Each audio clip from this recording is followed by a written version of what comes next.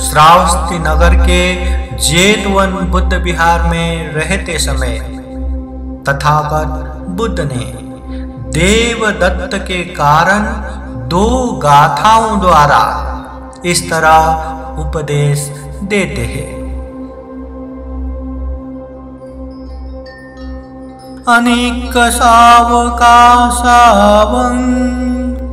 योवत्थं परिदहि सति। अपेतोदमसत्सेन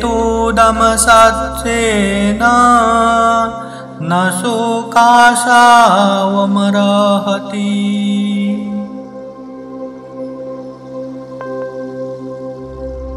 जो बिना चित्त मलों को हटाए, कासाय वस्त्र धारण करता है वो संयत और सत्य से हीन कासाय वस्त्र का अधिकारी नहीं है।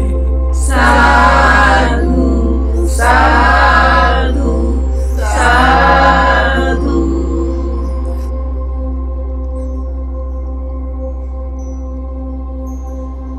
यो कसावस्ता शीलेषु सुसमाहितो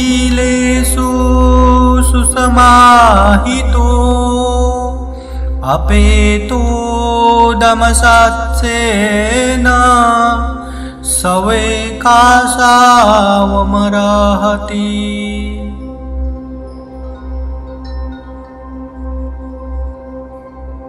जिसने चित्त मलों का त्याग कर दिया है शील पर प्रतिष्ठित है। संयम और सत्य से युक्त है। वही कासाय वस्त्र का अधिकारी है। साधु साधु।